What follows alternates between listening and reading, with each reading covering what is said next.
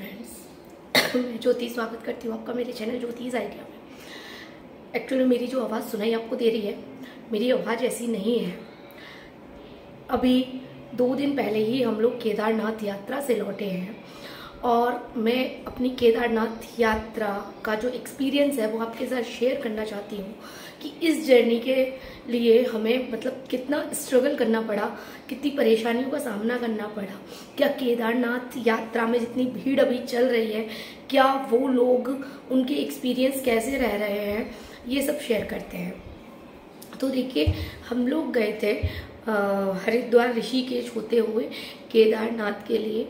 काफ़ी एक्साइटमेंट था क्योंकि यूट्यूब पर केदारनाथ की जो भी वीडियोस चली हुई हैं वो आ, सच में ऐसी हैं कि अगर आप वो वीडियोस देखते हैं तो आपका मन करता है कि भाई हमें भी केदारनाथ जो है जाना चाहिए।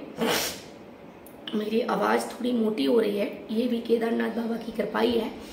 तो क्योंकि वहाँ का जो पानी है, वहाँ की जो ठंड है, वो हमको चढ़ गई है। तो इसलिए तो फ्रेंड मैं आपसे कहना चाहूँगी कि हाँ हम ऋषि के हरिद्वार होते हुए गए।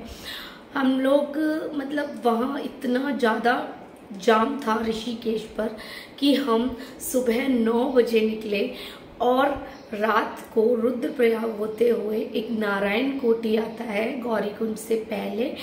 वहाँ नाइट स्टे हम लोगों को करना पड़ा। वहाँ तक तो सब कुछ ठीक था। हालाँकि पूरे दिन हम लोग जो ट्रैफ़िक है, उसको हर थोड़ी थोड़ी देर पे ट्रैफ़िक मतलब एक एक घंटे वेट करना पड़ रहा था गाड़ी में। और फिर जैसे जैसे हम वहाँ पहुँचे नाइट स्टे किया, वहाँ खाना खाया, वहाँ तक सब कुछ ठीक था। नेक्स्ट डे हम लोग सुबह ही अर्ली मॉर्निंग वहाँ से गौरी कुंड जो है सोन प्रयाग पहुँचते हैं। क्योंकि हमारी पर्सनल टैक्सी थी तो उसने हमको सोन प्रयाग उतार दिया था। सोन प्रयाग से आपको लोकल टैक्सी लेनी होती है, जो वहाँ उन लोगों ने हायर की हुई है। वो आपसे फिफ्टी रुपीज़ पर पर्सन के हिसाब से लेती हैं रेंट और वो आपको फाइव सिक्स किलोमीटर का डिस्टेंस है सोन प्रयाग से गौरीकुंड तक का, और वो आपको वहाँ छोड़ देती हैं। लेकिन उसमें भी आपको बहुत सफ़र करना होता है। सोन प्रयाग से और वहाँ टैक्सी फाइन करने के लिए आपको एक बहुत लंबी लाइन मिलेगी। देखिए मेरी बातों को एक्चुअल में होता ये है कि जब हमारे को जाने का भूत होता है ना तब हम किसी की भी आ, किसी भी एडवाइस को इग्नोर कर देते हैं। हमने भी यही किया। और देखिए हमारी यात्रा कैसी रही। है ना? बहुत लंबी लाइन। उस लाइन में भी आपको बहुत जो है धीरे धीरे चल के जाना पड़ता है। उसके बाद में अगर आपको वहाँ की वो लोकल टैक्सी जो कि आपको सोनप्रयाग से गौरीकुंड छोड़ेगी, वहाँ पे भी आपको जो है आप फाइव किलोमीटर कम से कम हाफ़ आवर्स में पहुँच पाएँगे। क्यों? क्योंकि वहाँ पर उनका भी ट्रैफ़िक लग जाता है, क्योंकि रोड बहुत ज़्यादा छोटा है और दोनों तरफ़ से आने वाली गाड़ियाँ होती हैं तो आपको उसमें भी ट्रैफ़िक का सामना करना पड़ता है। बस वहाँ जाते जाते आपकी हालत जो है, हम लोग के साथ तो ये हुआ कि हमारी गाड़ी चल ही नहीं रही थी। तो हमने कहा, हम तो चलो पैदल ही चले जाएँगे। तो हम लोग आधे रास्ते वहाँ से उतर भी गए और थोड़ा दूर पैदल चले। अब गौरी कुंड पहुँचने के बाद भी क्या होता है कि आप बहुत इंटरेस्ट के साथ अपनी यात्रा शुरू करते हैं और गौरी कुंड पे गर्म कुंड आ जाता है, वहाँ पानी का झरना देख के आपका दिल खुश भी हो जाता है। लेकिन ने जैसे ही आप आगे बढ़ते हैं, ट्रैक पर आपको क्या देखने के लिए मिलता है? कि जो खच्चर वहाँ चलते हैं, वो और जो पैदल यात्री हैं, इतना सा रास्ता है, इतना सा रास्ता है, वहाँ पैदल जाने वाले, पैदल आने वाले, खच्चरों पर जाने वाले और खच्चर लौट के आने वाले, उस इतने से रास्ते में ही जो है आया जाया करते हैं। और वहाँ उन खच्चरों की वजह से इतनी ज़्यादा गंदगी है कि वो लोग पूरे रास्ते उनका जो सुसु पॉटी है, इसके अलावा वहाँ बीच बीच में जो बारिश हो जाया करती है, उसका जो कीचड़ है वो मतलब एक अजीब सा इन्वायरमेंट आपको लगता ही नहीं है कि आप केदारनाथ, जो केदारनाथ आपने पिक्चर्स में देखा था, आप उसी जगह पे जो है अपनी यात्रा कर रहे हैं। बहुत ज़्यादा मूड हमारा जो है ऑफ़ हो गया वहाँ की गंदगी देख के। कोई मैनेजमेंट नहीं, कोई भी वहाँ पे आपके लिए सिक्योरिटी नहीं। जो खच्चर पर होते हैं, वो सिर्फ़ आपको साइड साइड बोलते हुए चले जाते हैं। आपको धक्का लगे या ना लगे मतलब कुछ भी कुछ भी सिस्टमैटिक नहीं लगा मुझे वहाँ। वहाँ पहुँचते ही मुझे पहली बार एहसास हुआ कि यार, यहाँ आना तो गलती रही यहाँ क्या है? एक किलोमीटर, दो किलोमीटर मतलब पूरे रास्ते वो खच्चरों से आपको डरते डरते चलना पड़ता है, क्योंकि कभी कभी बीच में जो खच्चर चलाने वाले जो होते हैं साथ में, वो उनको छोड़ भी देते हैं। और ऐसा मैंने बहुत से देखे कि जो खच्चर लौटते हुए आ रहे थे तो वहाँ वो खच्चर जो है, उनका पैर जो है वो स्लिप भी हो जाया करता है, क्योंकि जो रास्ता है वो थोड़ी सीढ़ियाँ भी हैं, थोड़ा चढ़ाई भी है और बीच में जो है वो चिकने चिकने पत्थर हैं, वहाँ से घोड़े स्लिप हो जाते हैं। न जाने कितने लोगों को हमने घोड़े से उतरते हुए देखा। बेचारे जो कि हमारे बुज़ुर्ग लोग हैं, जिनके घर वाले उनको यात्रा पर भेज देते हैं सेफ़ जर्नी कहकर, उन बड़े बूढ़े लोगों को जो है खच्चर पर बैठ के बेचारे कैसे वो लोग नीचे जाते हैं और कैसे ऊपर आते हैं, ये तो वही जाने। ठीक है, लेकिन भगवान के दर पे जा रहे हैं तो कोई कहना इस चीज़ को पसंद नहीं करता। लेकिन फिर भी मैं आपको इतनी ही वास्तविकता बताऊँगी कि वहाँ जो सीन आपको दिखाए जाते हैं यूट्यूब पर जो तारीफ़ें की जाती हैं जो सुंदरता आपको दिखाई जाती है, ऐसा कुछ नहीं है। पूरा जो ट्रैक है, वो पूरे ट्रैक एक मतलब गंदगी से भरा हुआ है। ठीक है? बहुत ज़्यादा वहाँ शॉकिंग लगा हमको। फिर भी हमने अपनी यात्रा कंटिन्यू की। हमारे साथ एक माइनस पॉइंट ये था कि हम भी उसी सुंदरता के लिए गए थे और हमें लगा था कि हम चढ़ाई कर लेंगे। कोई ऐसा इशू नहीं है, लेकिन उस गंदगी में चल पाना इम्पॉसिबल होता है। मेरा बेटा है, जो कि ढाई साल का है, वो भी हमारे साथ में था। तो उसको तो जरा सी भी जो गंदगी होती है, अगर उसके शूज़ पे लग गई तो उसने तो वहाँ रोना शुरू कर दिया। और हमें लगा कि हम आज तीन बज गए हैं और हम रात तक कैसे वहाँ ऊपर चढ़ पाएँगे। तो हमने दस किलोमीटर की जो जर्नी है वो हमने पैदल तय की और उसके बाद बच्चे की वजह से आ, मेरे साथ तो ये हुआ कि मैं एक बार खच्चर में बैठी लेकिन जैसे ही वो चलने लगा क्योंकि मैंने दूसरे लोगों को गिरते हुए देख लिया था तो वो डर मेरे मन में बैठ गया और मैं वहाँ बैठना नहीं चाह रही थी। लेकिन फिर भी आ, मैं बैठी और वो जो खच्चर होते हैं वो आपको आ, मंदिर से यानी कि भीमबली तक तो हमने किया ही था सफ़र, उसके आगे खच्चर लिया था। तो वहाँ मेरा बेटा भी बहुत डर रहा था उस पर बैठने में। हम सब लोगों को बहुत डर था, क्योंकि रास्ता जो है ना ऐसा है देखिए, जानवर है सेफ़ तो हम नहीं कह सकते। वहाँ हर कदम आपकी जान का डर आपको लगा रहता है। हालाँकि भक्ति भावना में आए हुए लोग तो ये भी कहेंगे कि भाई ऐसी जगह जाकर अगर हम मर जाएँ तो मतलब कैसा बहुत अच्छी हमें तो स्वर्ग की प्राप्ति हो जाएगी, लेकिन ऐसा नहीं है। आप अपनी फैमिली मेंबर से इतनी दूर हैं, वहाँ नेटवर्क भी नहीं आते हैं, और घर से इतनी दूर हैं टॉयलेट वगैरह की कोई ऐसी खास व्यवस्था नहीं है, सब गंदा गंदा गंदा ओनली गंदा, पूरे रास्ते। हम लोगों ने खच्चर पे बैठे, तय किया। आठ, नौ किलोमीटर हम लोग खच्चर पर गए और जब खच्चर ने हमको मंदिर से डेढ़, दो किलोमीटर पहले उतार दिया और उतरने के बाद जो हम लोगों की हालत हुई, हम लोगों की जो थाइस थे, वो बहुत ज़्यादा दर्द कर रहे थे। हम चलने में असमर्थ थे।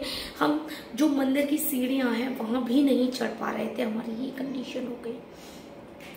इसके अलावा रात को जब हम वहाँ पहुँचते हैं तो वहाँ जाकर हमने एक जगह मतलब खाना खाया। मतलब ये ब्लॉग में वहाँ से आपको दिखाना चाहती थी, लेकिन मेरी कंडीशन नहीं थी वहाँ कि मैं कुछ शूट कर पाती।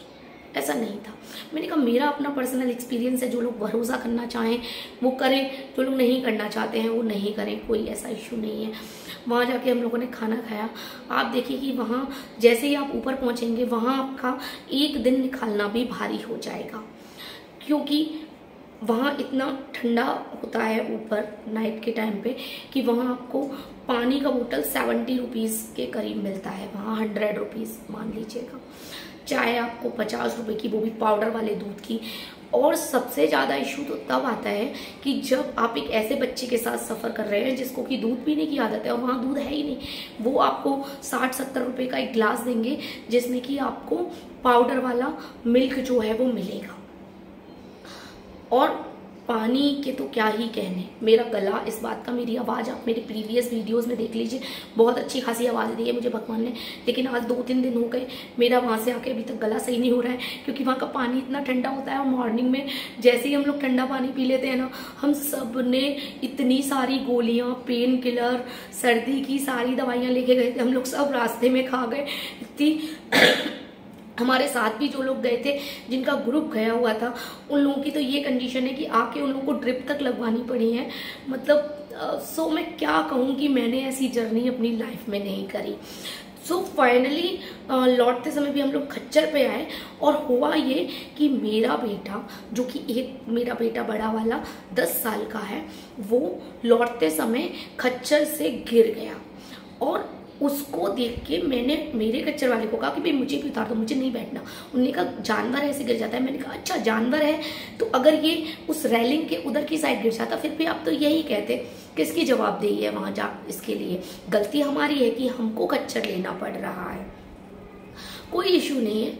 हम सब लोग उतर गए और फिर हमने उसको पैसे भी दिए और हाँ एक और फर्जी बाड़ा लौटते समय अगर आप खच्चर लेते हैं तो आपको सत्रह सौ चालीस रुपए का टिकट लेना पड़ता है वहाँ से खच्चर के लिए। लेकिन वो जो खच्चर वाले होते हैं, वो आपसे कहेंगे कि नहीं भाई, हम अपना खच्चर तभी लेके जाएँगे, वो दो सौ तीन सौ रुपये आपसे एक्स्ट्रा मांगेंगे। हमने भी दिए, क्योंकि मजबूरी थी, हम दूसरी जगह हैं और हमको आना था। जाते समय भी यही हुआ कि अगर आप नीचे से खच्चर बुक करते हैं तो आपका शायद पैंतीस सौ, सैंतीस सौ रुपये में ऐसे हो जाता है। लेकिन हमने दस किलोमीटर चलने के बाद भी खच्चर बुक किया और वो हमें चार हज़ार रुपये एक खच्चर मिला। तो इतना लूट मारा है, लोग और भगवान उनका सीरियसली इतने लालच के बाद में भी भगवान उनका कुछ नहीं करता है। यात्रियों के साथ इस तरीके से होता है। हम जब मंदिर में, जब हमें वहाँ घोड़े ने उतार दिया एक डेढ़ किलोमीटर तो वहाँ हमने एक आंटी जी जा रहे थे। उनसे हमने पूछा कि, आंटी जी, शायद, ऐसा नहीं है कि शायद हम ही परेशान हो रहे हो? तो हमने एक आंटी से पूछा कि, आपका एक्सपीरियंस कैसा रहा? उनने कहा, हम तो इन खच्चरों से इतना परेशान है, मेरी बेटी को खच्चर ने धक्का मार दिया। एक बेचारे बूढ़े अंकल, उनसे हमने पूछा कि, आपको कैसा मतलब के वो है आपका यहाँ पर आए हुए। तो उनने कहा कि भाई, यहाँ तो बिल्कुल बस जान का कोई पता ही नहीं है, यहाँ तो कब हम मर जाए, कुछ नहीं कह सकते।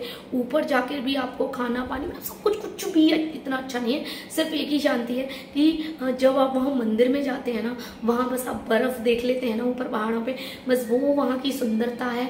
इसके अलावा जो आपकी बीस बाईस किलोमीटर की जर्नी है और वो बीस बाईस किलोमीटर पहुँचने से पहले की जो जर्नी है, वो बहुत ज़्यादा स्ट्रगल हो जाती है। मतलब हो सकता है कि कुछ लोगों के लिए अच्छी हो जो लोग अपनी फैमिली के साथ नहीं गए हैं अकेले अकेले गए हैं फ्रेंड्स के साथ गए हैं। लेकिन एज ए पेरेंट्स आप अपने बच्चों के साथ गए हैं या अपने माता पिता के साथ गए हैं और उनको जब आप तकलीफ़ में देखते हैं तो आपके लिए ये यात्रा सुखद नहीं रह जाती है। मैं तो फुली कहूँगी। वो पूरा फाइनली एक मैं इस वीडियो के लास्ट में आपसे यही कहना चाहूँगी कि जो भी आ, मेरी फ्रेंड मेरी सिस्टर्स जो भी केदारनाथ जाने का सोच रहे हैं और अगर आपके साथ बच्चे हैं चाहे वो दस साल के भी हैं तो भी आप उन्हें मत लेके जाइएगा। बिल्कुल मत लेके जाइएगा। बच्चों के लिए बिल्कुल भी वो जगह सेफ़ नहीं है। केदारनाथ यात्रा चार धाम यात्रा है। उसको जो है जीवन के अंतिम पलों में आप लोग कर लीजिए। लेकिन अगर आप जा रहे हैं तो बिना बच्चों के जाइए बच्चों को घर छोड़ के जाइए। और मैं तो कहूँगी कि बहुत अच्छी अच्छी जगह है घूमने की। वो कोई पिकनिक या ऐसा नहीं है जो कि आपको वहाँ इंजॉय हो सके आपका। वहाँ पर ऐसा कुछ भी नहीं है। तो आप कहीं और चले जाइए घूमने के लिए।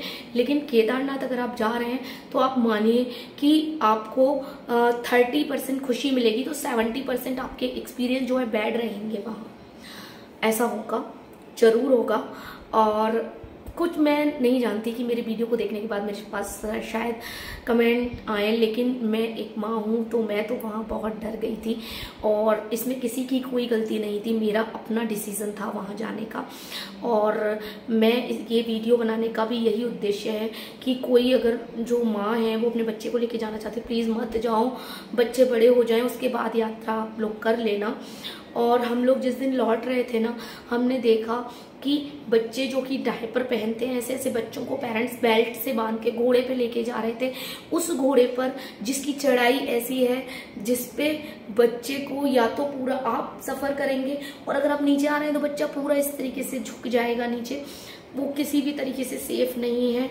घोड़े से गिरते देखा है मैंने लोगों को। तो प्लीज़ बच्चों को लेके तो बिल्कुल ना जाएँ। और ऊपर बेचारे छोटे छोटे बच्चे एक एक साल से भी कम के, उनको माताएँ गोदी में लेकर जा रही हैं। क्या उनको वहाँ कैसे दूध अवेलेबल हो पाएगा? गर्मी अब होता क्या है कि आप लोगों को लगता है कि केदारनाथ तो ठंडी जगह है। नीचे से ही गर्म कपड़े पहनना शुरू कर देते हैं। जबकि केदारनाथ की जो 10 किलोमीटर की यात्रा है, वहाँ उतनी ही गर्मी है जितने गर्म इन्वायरमेंट में से आप जा रहे हैं। ठीक है, वहाँ कोई ठंडक नहीं है। आपको ठंडक महसूस होगी जैसे जैसे आप ऊपर चढ़ेंगे। यानी कि मंदिर से अगर मैं कहूँ तो आठ किलोमीटर पहले आपको ठंड का एहसास होना लगेगा, लेकिन उससे पहले आपको ठंड का एहसास नहीं होगा। तो मैं एक बात कहना चाहूँगी कि प्लीज़ मेरी आपसे हाथ जोड़ के किसी की भावनाओं को ठेस पहुंचाना मेरा उद्देश्य नहीं है, लेकिन मेरे जैसी बहनें जो कि केदारनाथ जाना जिनका एक मतलब सपना है कि हमें जाना है तो अगर आपके बच्चे छोटे हैं तो प्लीज़ बच्चों को लेकर मत जाइएगा।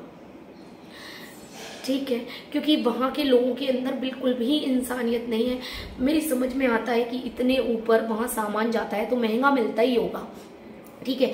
लेकिन पाँच रुपए की चीज़ आपको दस रुपए में मिलना स्वाभाविक है, क्योंकि वो लोग पे कर रहे हैं उस चीज़ के लिए। लेकिन पाँच रुपए की चीज़ को आप पचास रुपए में खरीदे, ये तो सरासर लूट मार हो गई ना। खच्चर का जो रेट सरकार ने गवर्नमेंट ने वहाँ की ना तय किया हुआ है, उसके अलग से घोड़े वाले पैसे मांग रहे हैं उनपे कोई नकेल कसने वाला नहीं है। ठीक है, घोड़े चलते चलते गिर रहे हैं। उन घोड़ों के लिए कोई मतलब कुछ भी सुविधा नहीं है। पूरे रास्ते अगर कोई व्यक्ति चलते चलते गिर जाता है, मर जाता है। और हाँ सबसे बड़ी बात, जिस रजिस्ट्रेशन के लिए इतनी भागम भाग होती है ना कि रजिस्ट्रेशन करा के जाइए, सच में कह रही हूँ, वो रजिस्ट्रेशन वहाँ कोई चेक नहीं किए थे हमारे। वो रजिस्ट्रेशन ऐसे हमने पेपर फोल्ड करके प्रिंट आउट लेके गए और आके डस्टबिन में डाल दिए। अब आप बताइए कि आपकी वहाँ कोई एंट्री नहीं हो रही है, इतना खाई भरा एरिया है। अब गिर मर जाओगे, किसको फ़र्क पड़ रहा है? तो भैया, अपनी जान का जोखिम जाते समय हमारी इच्छा थी कि हम जा रहे हैं। अपने पेरेंट्स को भी हम यहाँ एक बार ज़रूर भेजेंगे। लेकिन वहाँ से लौटते समय हमारी जो थिंकिंग है, वो एकदम से चेंज हो गई। हमने कहा, हम अपने पेरेंट्स को अपने जीते जीते नहीं आने देंगे। एक हमारे आंटी हैं जो हमारे पास से ही गई हुई थी, उनने भी यही कहा कि मैं अपने जीती जी, अपने बेटे को वहाँ नहीं जाने दूँगी। तो ऐसा नहीं है।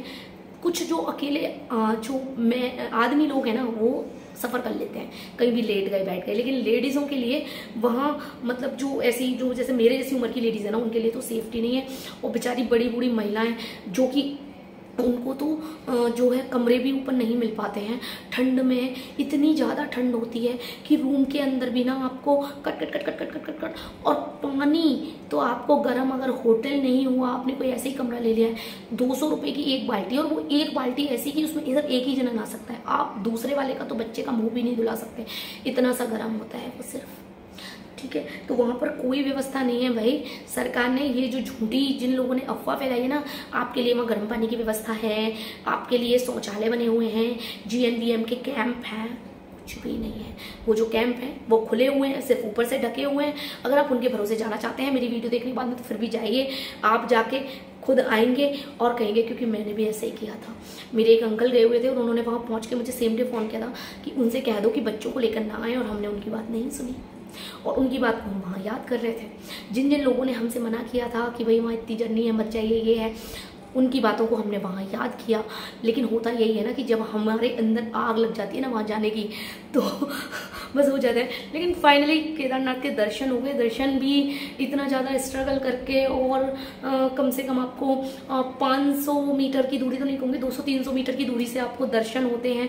और जस्ट एक या एक मिनट भी आपको जो है होते हैं। और मंदिर के अंदर भी जो है ऐसा कोई भीड़ भाड़ चलती रहती है। तो ठीक है। फिर भी दर्शन हो गए, ठीक है, लेकिन प्लीज़ बच्चों को लेके मत जाना, इतना ही आपसे रिक्वेस्ट करूँगी। और भी अगर केदारनाथ जो बड़े लोग भी जाना चाहते हैं, और वहाँ से रिलेटेड रास्ते के बारे में या जो भी आप पूछना चाहते हैं प्लीज़ मुझे कमेंट करिएगा। मैं वहाँ का जो मैप वगैरह है, वो मैं सब कुछ जो है एक वीडियो और बना दूँगी। तो आज के लिए इतना ही। और जो लोग जाने का सोच रहे हैं, वो बहुत अपना, पता खाने का बहुत सारा सामान हम लोग भी लेकर गए थे, लेकिन वहाँ हुआ क्या? कि सारा सामान आधे रास्ते जाके ही खा खा लिया और वहाँ पर चाय थर्टी रुपीज़ की और एक पार्ले जी टेन रुपीज़ का। तो मतलब एक जगह अगर चार पाँच लोग खाने बैठते थे ना तो तीन सौ, चार सौ रुपये तो ऐसे ही खर्च हो जाते थे और खच्चर ही खच्चर के लिए हम लोगों का आ, हम लोग थे आ, मैं मेरी एक सिस्टर मेरे हस्बैंड तीन और एक मेरा टेन ईयर का बेटा और एक ढाई साल का बेटा।